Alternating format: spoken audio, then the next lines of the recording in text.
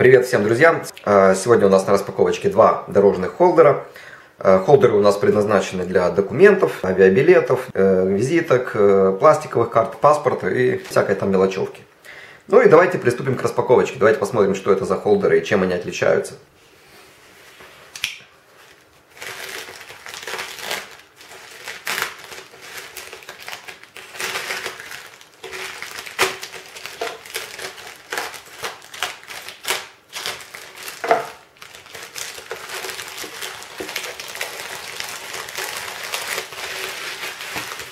Вот такой у нас первый, в забавной такой расцветке, я бы сказал. Э, что-то вроде пантеры. Ну, где-то так. Ну и второй.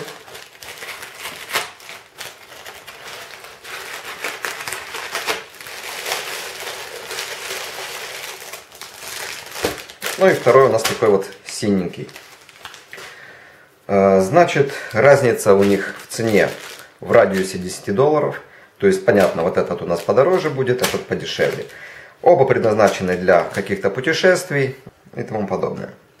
Итак, давайте откроем наш первый экземпляр.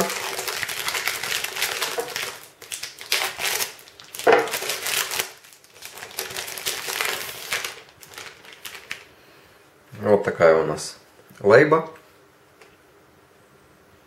Как видим, э, даже на краске э, маркировки MS M-Squire. В целом холдер выглядит довольно-таки качественно. Не вижу я никаких ниточек, не вижу никаких э, косяков. Ну, давайте откроем, посмотрим, что в середине. А в середине, друзья, у нас... Угу, это мы забираем. Вот такая вот начинка. Все довольно мягко, довольно таки хорошо сделано. То есть э, чувствуется, ну, э, что даже если там что-то есть, то это явно не картонки. Ну что же, рассмотрим. Итак, здесь у нас отделение для фото, здесь у нас отделение для ключей и монет. Вот, кстати, отделение для ключей и монет, я бы сказал, ну, неудобно. Здесь у нас нет ни карабина, ничего, чтобы удержало эти монеты и ключи у нас в этом кармашке. Ну, разве что мы не будем его сильно переворачивать и вытряхивать. Вот. Ну и отделение для авиабилетов. Ну тут не только авиабилеты, я думаю, тут любые другие документы могли бы поместиться. Вот. Э, дальше у нас э, отделение на замочке. Отделение на замочке. Сейчас я вам попробую показать. Э, прошито изнутри неплохой приятной тканью. С промежуточным отделением для чего-либо. Вот, ну, в целом, в целом неплохо, в целом неплохо. Ну, понятно, здесь у нас отделение для пластиковых карт, для визиток, ну и всякой-всякой мелочи. А, да, забыл сказать про ручку. Конечно, есть резиночка под ручку, вот, что тоже немаловажно. Ну, в целом, в целом качество меня устраивает, в целом он хороший. Ну и давайте рассмотрим второй. Второй будет погрубее.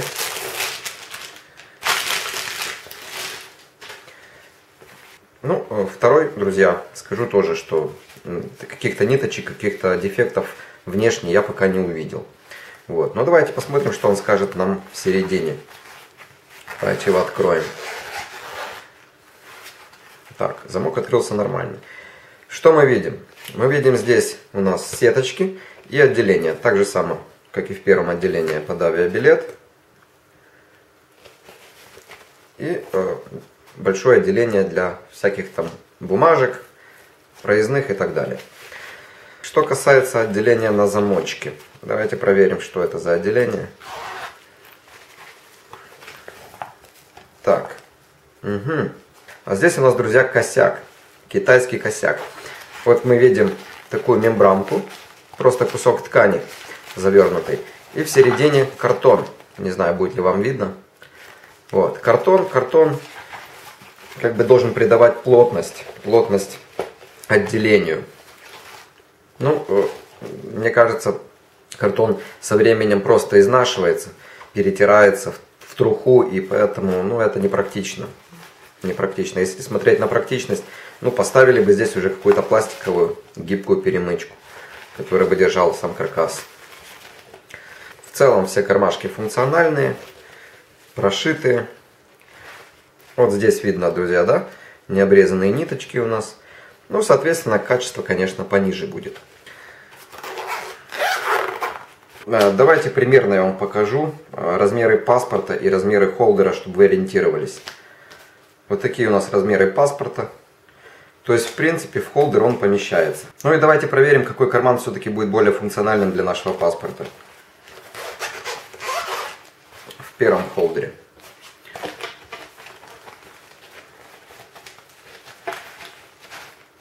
Ну что ж, в принципе, отлично помещается. Без всяких проблем. В качестве пошива, друзья, мы уже разобрались. Э, давайте посмотрим на качество материалов. Э, качество материалов, в принципе, у нас в первом холдере это нейлон. Нейлон сравнительно плотный. Э, конечно, проникается немножко такая вот дешевизна из самого изделия. Но в целом он довольно-таки функционален. Первый экземпляр у нас, конечно, будет более качественный. Э, ткань более плотная, э, есть внешний дополнительный кармашек э, для быстрого доступа. Ну и я так понимаю, что даже если на него попадет какая-то вода, какие-то брызги, он довольно хорошо с этим справится, то есть не промокнет. Ну, что можно сказать? Холдер довольно-таки качественный. В заключение, друзья, скажу, что оба холдера в принципе функциональны. Э, да, есть какие-то изъяны у нас в синем экземпляре, но тем не менее он функционален и он рабочий. Вот, выбирать вам, смотреть вам. Ну и на этом все. До новых встреч, друзья. Пока-пока.